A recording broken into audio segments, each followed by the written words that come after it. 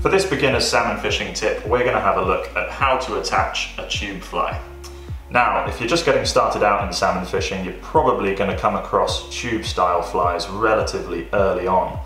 They're a fantastically versatile style of salmon fly. Not only do they come in lots of different lengths, colours and styles, but crucially they come in a lot of different weights as well.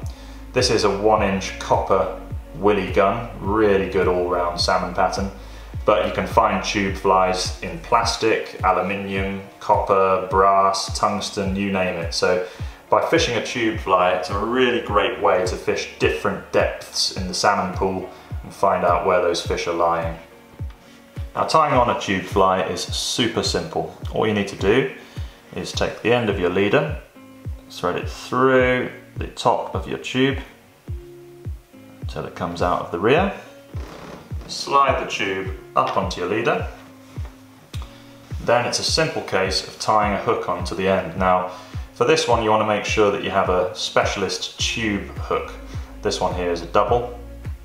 And then it's a case of using your preferred knot to secure the hook to the end of your leader. I like a tucked blood knot.